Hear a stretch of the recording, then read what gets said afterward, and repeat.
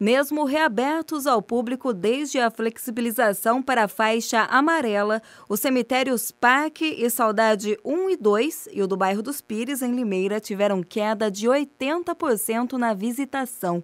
A educadora conversou com o chefe do setor de cemitérios de Limeira, André Rodrigues Heleno, que explica descartando o público que acompanha os enterros. Antes da pandemia do novo coronavírus, pelo menos 100 visitas eram registradas por dia nos cemitérios da cidade. Atualmente, eles não chegam a receber 20 pessoas diariamente. A gente tem uma queda aí de, não é exagero falar que de 80% pelo menos.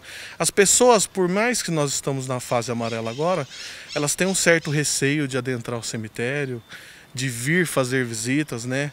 Mesmo que, que estejamos na fase amarela, eles têm um certo receio ainda de vir. Os cemitérios voltam a reabrir após mais de três meses fechados, em datas importantes como o Dia dos Pais e o Dia das Mães. Foi uma situação atípica. Normalmente no Dia das Mães, Dia dos Pais, essas datas, a gente tem um grupo de visitações muito grandes, né?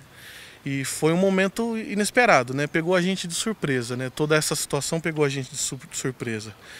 E realmente as visitas foram bloqueadas por conta de toda essa situação. Para visitar os cemitérios da cidade é preciso se atentar aos cuidados básicos em tempos de pandemia. O uso de máscaras, como eu estou agora, e também álcool em gel na entrada são cuidados imprescindíveis. A gente adverte, inclusive, é, sempre que tem alguém que acaba passando né, sem a máscara, nós vamos atrás, pedimos que coloque. Caso eles não tenham, a gente pede que eles retornem, né, que não fiquem no cemitério sem a utilização das máscaras. Os cemitérios estão funcionando das 7 horas da manhã às 6 da tarde. A parte administrativa das 8 da manhã às 5 da tarde. Agora na fase amarela a gente está com a porta é, semi-aberta, né, com, atendendo os, os munícipes, com prioridade nos sepultamentos, né, e com os visitantes que estão vindo de uma frequência bem menor, mas entrando nas conforme as medidas do isolamento, né,